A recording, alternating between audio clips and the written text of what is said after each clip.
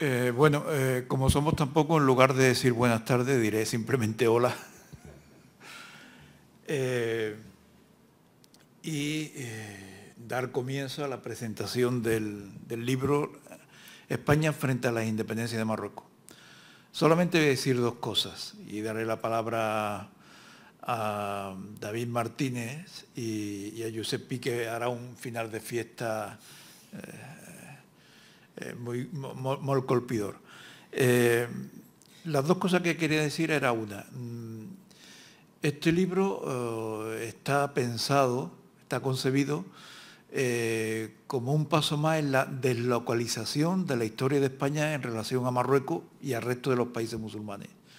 Normalmente los libros que se escriben sobre España, el Marruecos, el Sáhara, Guinea, etcétera, mm, corresponde más bien a Marruecos y el gobierno español o la democracia española, o en todo caso, si no es desde una óptica madrileña, es sobre la burguesía catalana, la relación de la burguesía catalana o la publicística catalana con Guinea, Marruecos, etcétera. Es decir, siempre son visiones muy parciales y siempre visiones desde unos mismos observatorios, uno estatal y dos, eh, digamos, el catalán.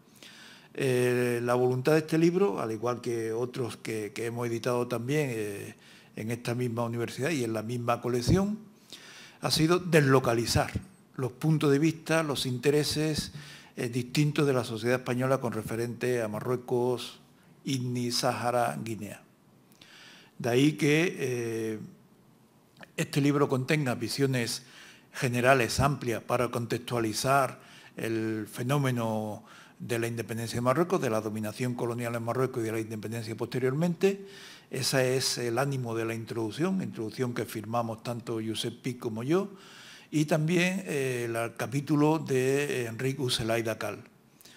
Eh, contextualizar esa descolonización, que no fue la única, que se inscribe en la lógica de la descolonización eh, a nivel mundial, en los años 50, segunda mitad de los 50 y a lo largo de los 60, Después hay también para comparar eh, estudios eh, sobre la descolonización de Guinea a cargo de Gonzalo Álvarez Chillida, un gran estudioso del caso guineano, y también dos trabajos, uno de Joan Pastrana, también aquí de la Pompeu, sobre la descolonización de INNI, y otro de Bernabé López García sobre la descolonización del Sahara.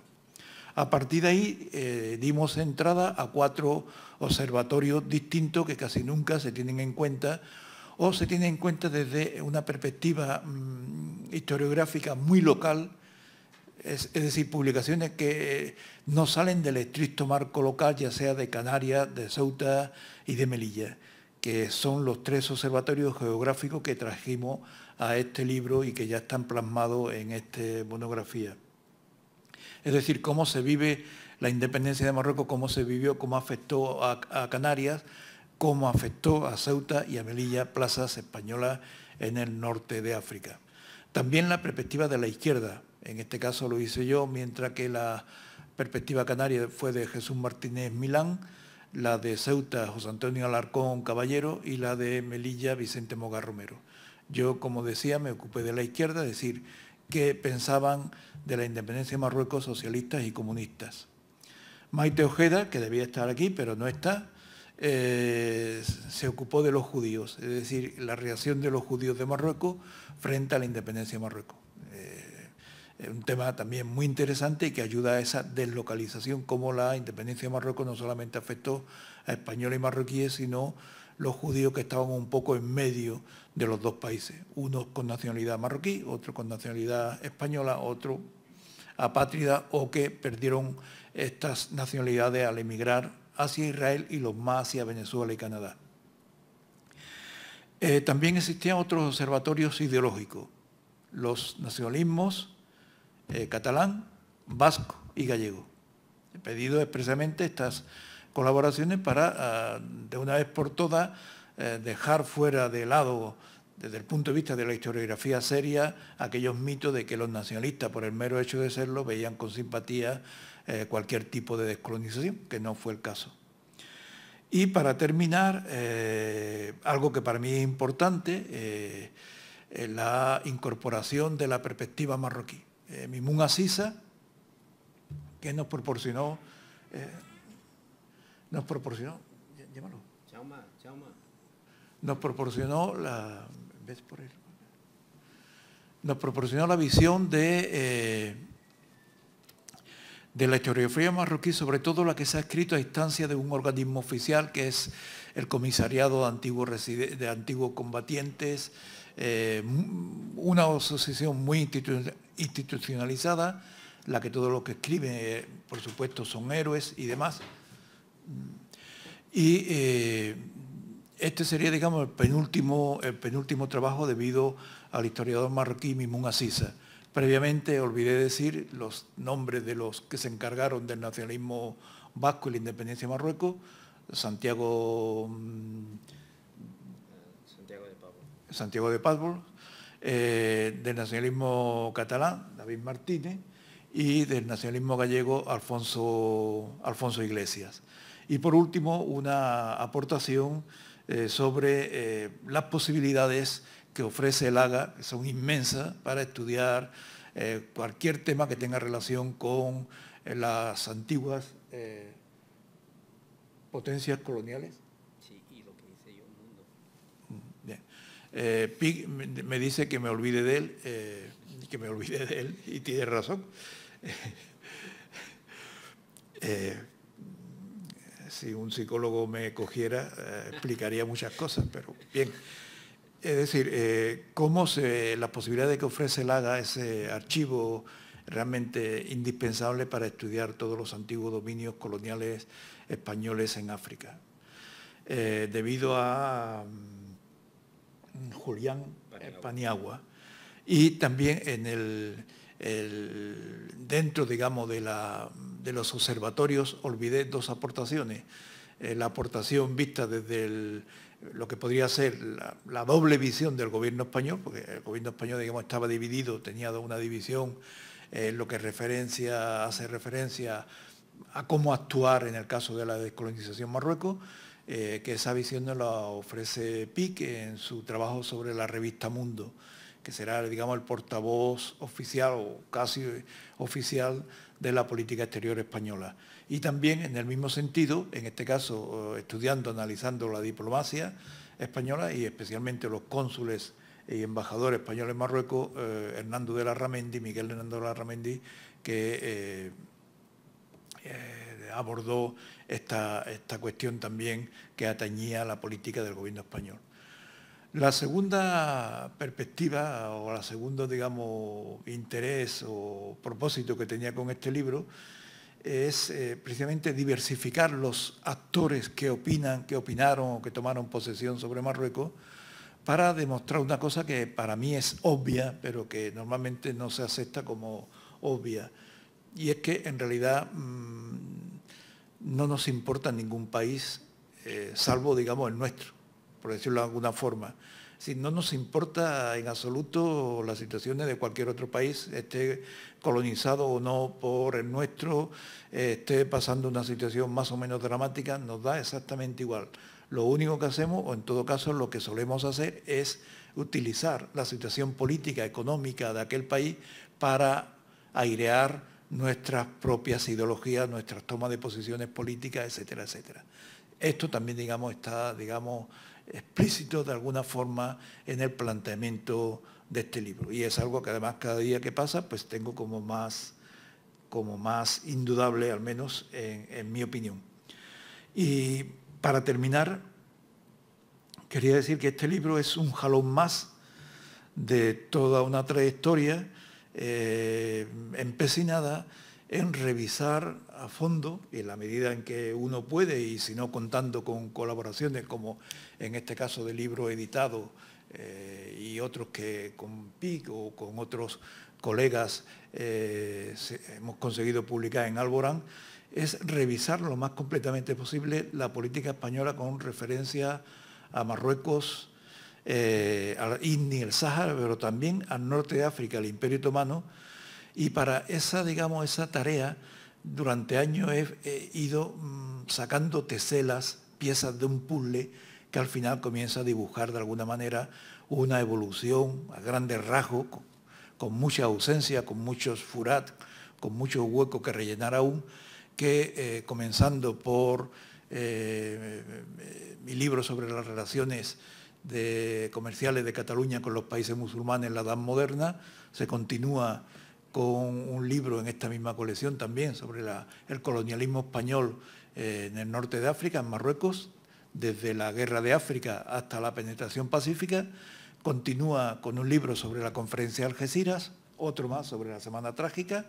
Eh, y eh, digamos de momento, de momento se para aquí con este libro sobre las reacciones de la independencia de Marruecos en España y que se continuará la próxima, el, próximo episodio será otro libro sobre eh, las repercusiones en España de la independencia de Argelia. Bien, con esto acabo y doy la palabra a Pique para que eh, organice un poco el sarao.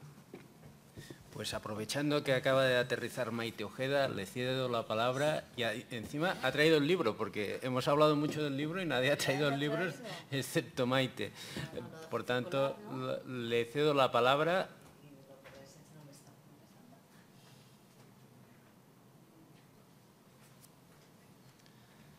Y ya podéis borrar del vídeo que Maite tendría que estar aquí, está aquí lo siento mucho, problemas de tráfico y de eh, organización de la agenda me han impedido llegar justo a la hora de la presentación, pero bueno, es un placer estar aquí, es un placer que me hayan invitado a, hablar en, esta, en esta presentación de este libro en el que hemos participado muchos, en unas jornadas que ya os habrán explicado, realizamos el año pasado y bueno, fueron muy estimulantes, eh, sobre todo, bueno, en, mi caso, por ejemplo, habíamos, yo había trabajado hasta entonces hasta el 45, por lo tanto era una oportunidad de adentrarme en mi tema más allá del, del 45 y realmente pues bueno ha sido tan estimulante que eh, pues, me ha animado a seguir eh, ahondando en más cuestiones sobre, sobre este periodo.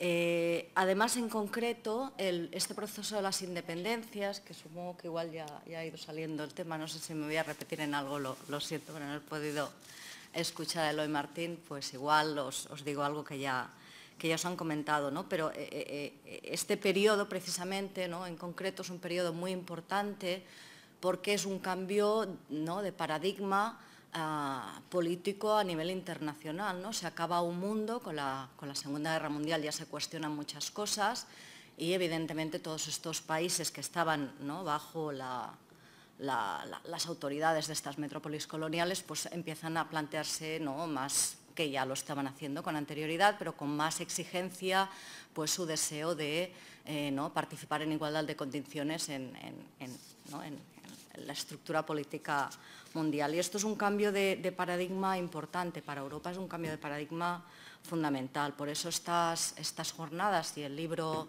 eh, que tenéis pues, bueno, son, son, son, eh, muy interesantes desde este punto de vista.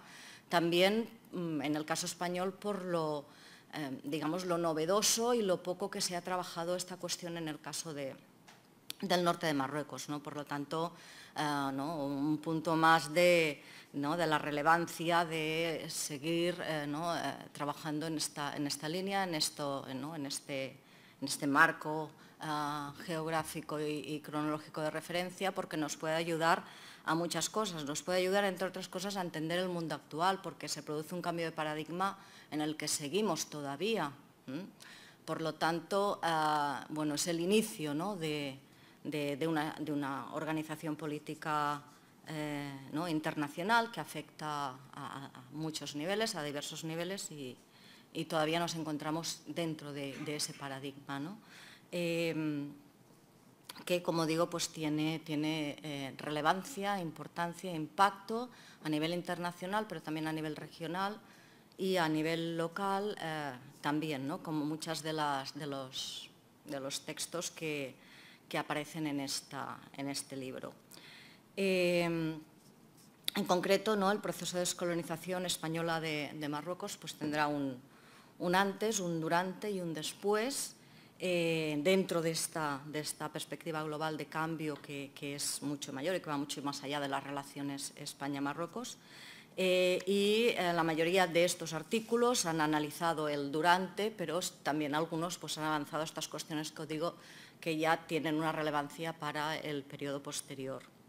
en total son 16 capítulos, por lo tanto es un trabajo extenso, prácticamente 400 páginas, y todo y así se queda corto, porque eh, lo, que se pone de manifiesto cuando, eh, cuando eh, participas en unas jornadas de este tipo y, luego tienes la monografía en la mano y puedes pensar más despacio sobre todas las cuestiones sobre las que se han reflexionado, es que quedan muchísimas más por reflexionar. ¿no? Te hable más que cerrar preguntas, ¿no? te abre nuevas preguntas y, nuevas eh, cuestiones sobre las que hay que seguir trabajando para entender mejor este periodo y este periodo bisagra y, en el caso concreto de las relaciones España-Marruecos y del colonialismo tardío español en Marruecos.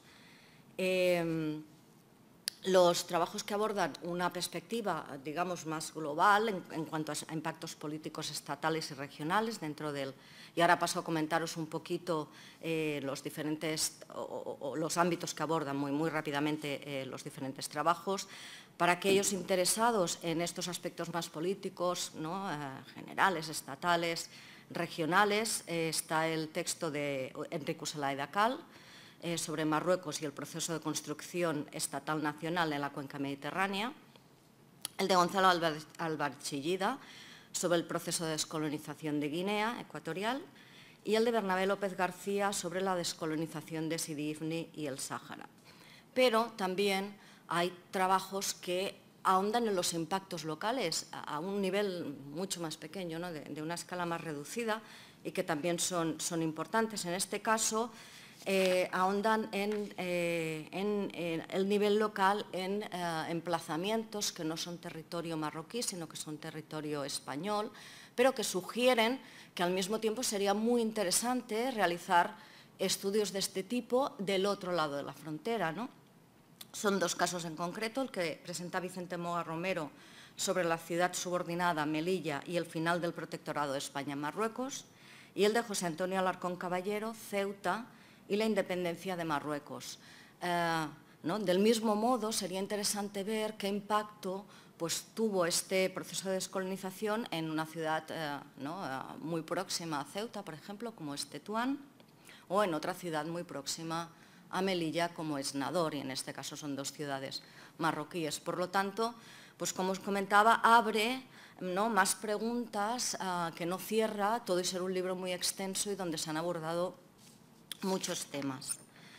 Eh, sobre el impacto también, no solo a nivel geográfico de poblaciones ubicadas en un espacio geográfico, sino también, digamos, de poblaciones o de eh, eh, grupos con identidades diversas y diferenciadas, quizás de lo que son las mayorías nacionales que emergen en todos estos países en los procesos de independencia es el trabajo de, Juan Pastrana Piñero, los Ait Baamran, entre Marruecos y España, o el, artículo que presento yo sobre los judíos del norte de África frente a la creación del Estado de Israel y los procesos de independencia en el Magreb.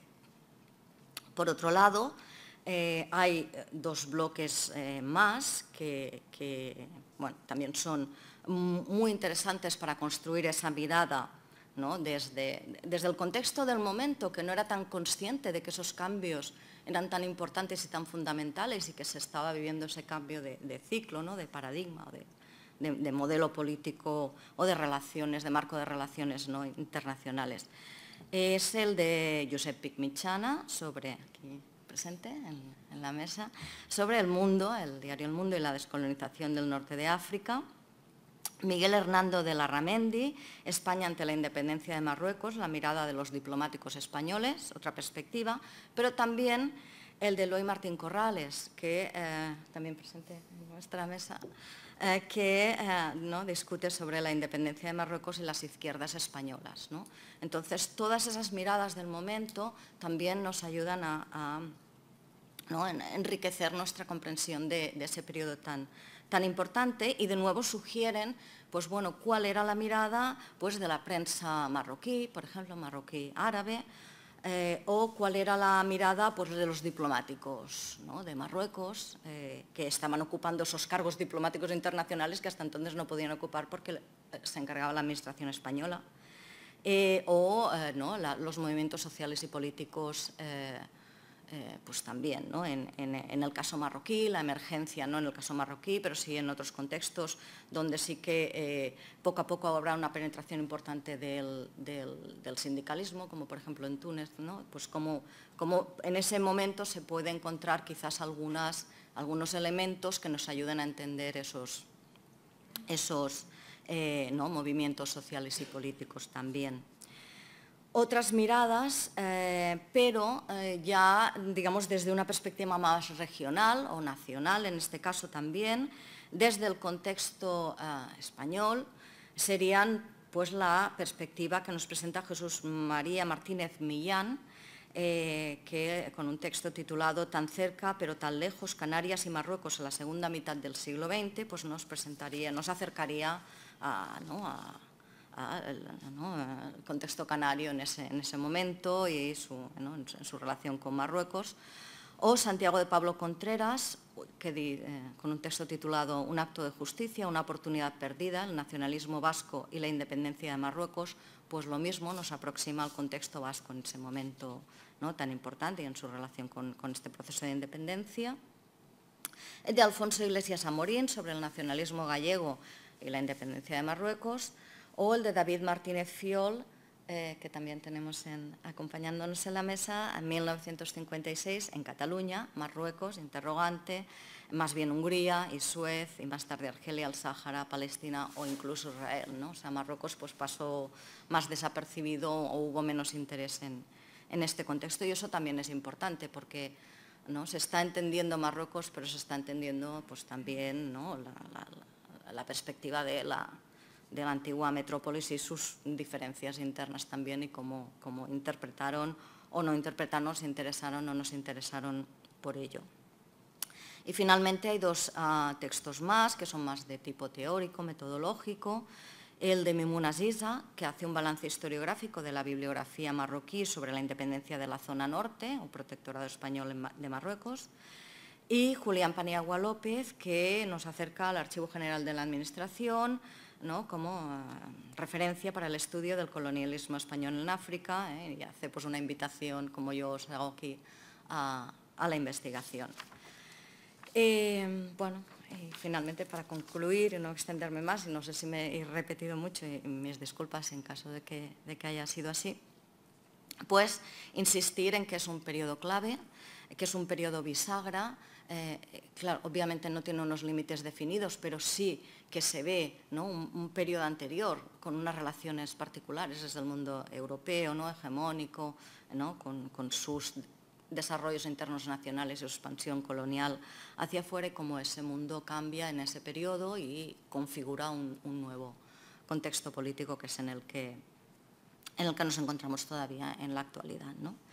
Eh, y como os decía, pues el libro espero que invite a explorar eh, otras dimensiones de, este periodo bisagra, porque hay muchas, muchas más que, tienen cabida ahí y que sería necesario, eh, desde mi punto de vista, explorar, como sería, por ejemplo, los cambios, eh, también en los paradigmas de relaciones de género en Marruecos, la, visión y la participación de las mujeres en este proceso, otros nacionalismos o identidades o movimientos identitarios locales, en el contexto marroquí también, la cuestión de las fronteras eh, que se dibujan, pues como hemos visto en el caso de, Melilla y Ceuta, pero también en las relaciones entre eh, Marruecos, Argelia, eh, estos países antiguas colonias y, ahora pues como estados independientes y cómo se configura la relación de frontera y las relaciones entre ellos en este, en este periodo en concreto en Bisagra y, como os decía, también pues, otros movimientos eh, políticos y sociales que,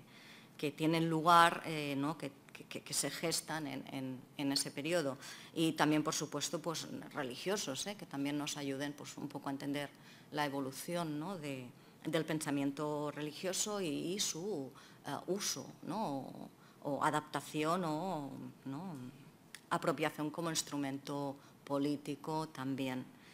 Y bueno, se podrían decir muchas cosas, seguro. Hay personas mucho más expertas que yo, pero esto en principio sería mi, pequeña presentación de, de este trabajo. Gracias.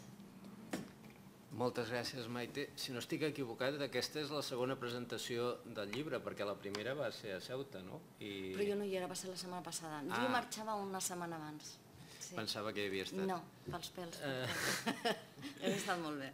Bé, Eh, tenim la sort que també tenim un altre dels autors que precisament parla de Catalunya, encara que per dir que a Catalunya no interessava gaire la independència de Marroc, en concret el nacionalisme català no li interessava massa a Marroc, li interessava més Suez, li interessava més altres assumptes o li interessarà més sobretot Suez, però eh, tenim en David i en David ens ho explica.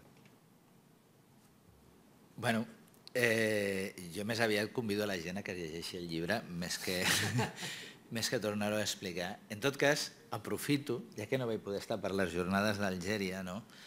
doncs fer una mica de pont entre el, aquest llibre i, i, i el que li he de presentar un dia d'aquests amb aquests bons homes. No?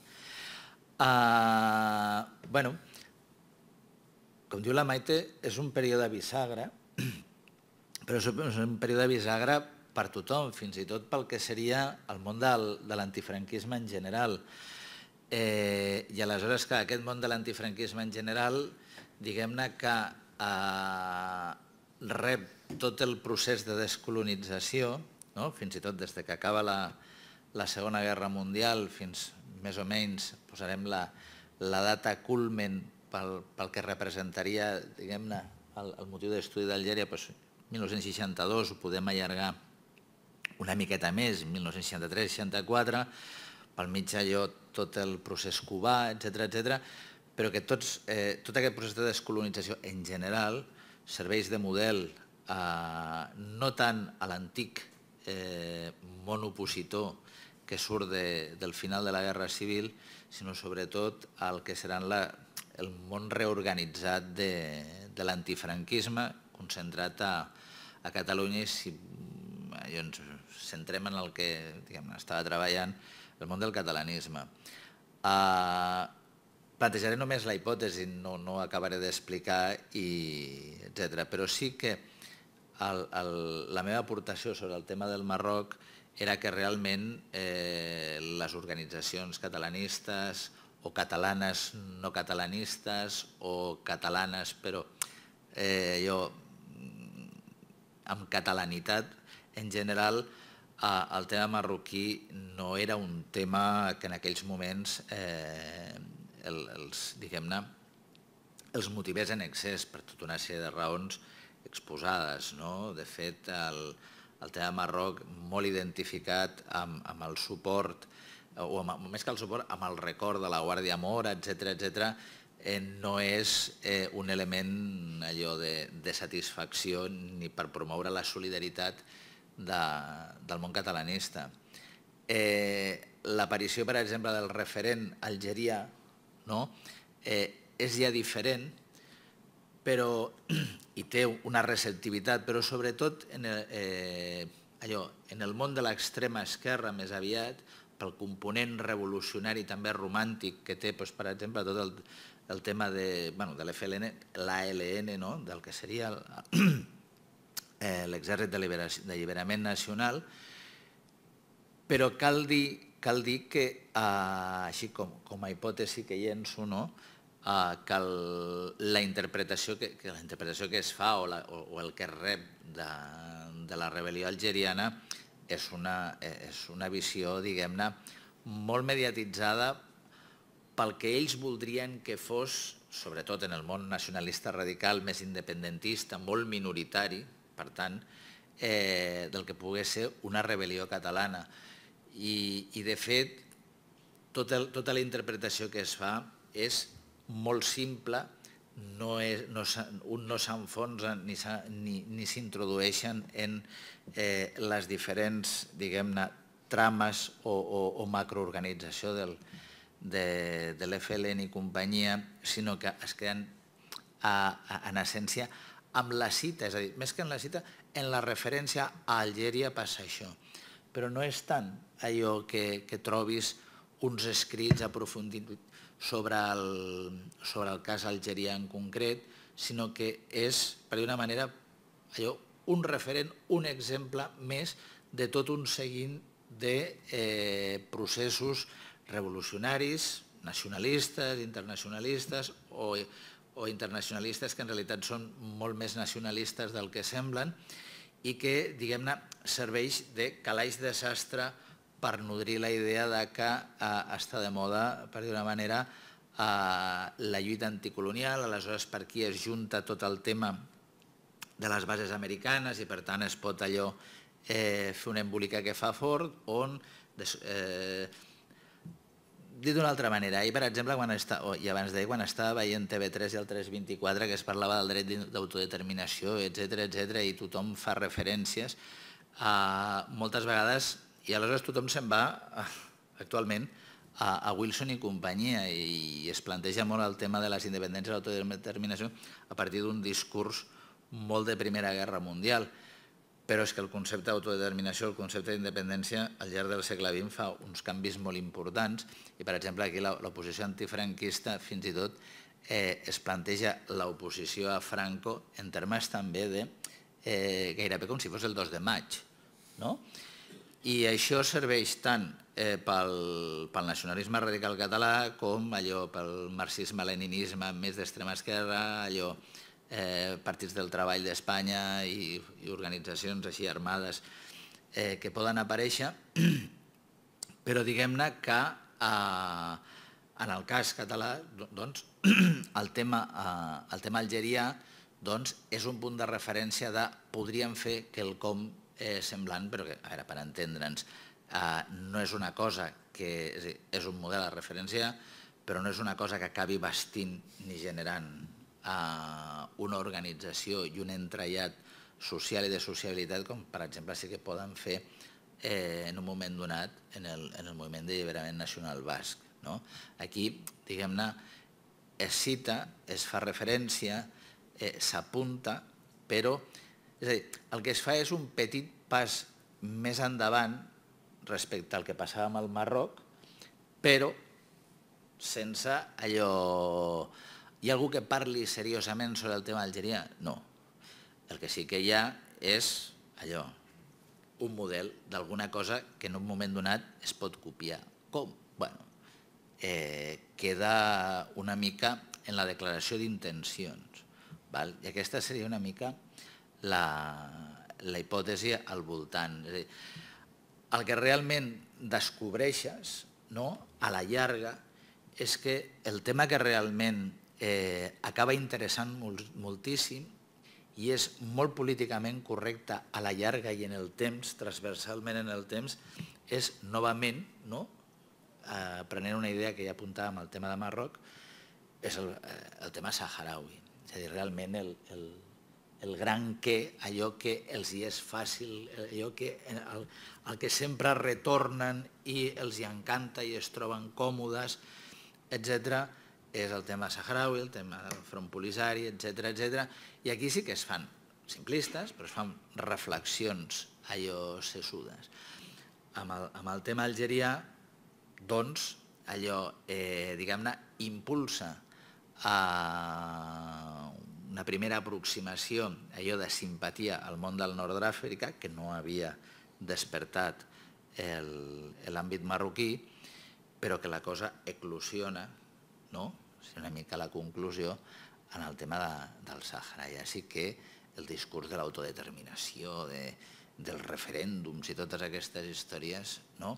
i que coincideix en el moment allò de caiguda de, bueno, de la mort de Franco i per tant de la possibilitat d'una transició, clar, el tema saharaui és que cau, cau de ple en el, en el temps. Eh, el tema algerià, diguem-ne que esclata massa abans com perquè realment es converteixi en un tema de, de gran reflexió. No? Però és, diguem-ne, la punta de llança per arribar a, al tema saharaui i com el món de l'extrema esquerra, fonamentalment, no? amb els seus referents llatinoamericans o amb els seus referents africans, no? eh, elaboren un discurs propi. I bueno, allò seria el, el punt de connexió entre la meva aportació del Marroc i el que serà la, la meva aportació algeriana. Moltes gràcies. Si el, els membres de la taula no tenen res a, més a dir, jo faria una, una última reflexió final. Estic molt d'acord amb el David que més que resumir-vos les, les diferents ponències, us convidem a que llegiu el llibre. Com, com a ponent i editor he de dir que jo he quedat molt satisfet. Segurament dels llibres que he editat és dels que he quedat eh, més satisfet. Amb el professor Eloi Martín Corrales fa gairebé una dècada que col·laborem, ara ho estava comptant, no fa ben bé 10 anys, però no ho sí. I aquest és el quart llibre, el tercer, però espero que n'hi hagi un quart, eh, vinculat a Bellaterra i a la col·lecció Alborán. Vam començar amb la Setmana Tràgica o la Revolució de Juliol de 1909, que va ser un llibre d'Alborán que ja, ha citat el professor Martín Corrales. Posteriorment vaig uh, fer un estudi monogràfic sobre la guerra de Melilla de 1893-1894, que és un clar antecedent uh, al que passarà l'any següent a Cuba, o començarà l'any següent a Cuba aquest llibre sobre Espanya i la independència de Marruecos, que ja ha estat perfectament resumit i torno a repetir, jo estic content dels resultats i m'agradaria que el llegíssiu i que poguéssiu comentar la, la seva lectura.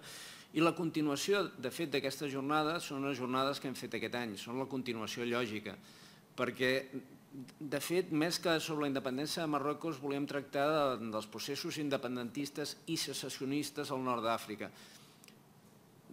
Per què secessionistes? Perquè Argèlia és un tema diferent. Argèlia pels francesos no era un, no era un, un protectorat com podia ser Marroc o Túnez. Eh, per, per molts francesos Argèlia, o com a mínim una part d'Argèlia, era territori nacional francès i per tant si miren els primers mapes de, del que serà la Unió Europea, el mercat comú de l'OTAN, Argèlia surt com a territori de l'OTAN, Argèlia surt com a territori del mercat comú, cosa que no passa mai ni en Marroc ni en, ni en Túnez.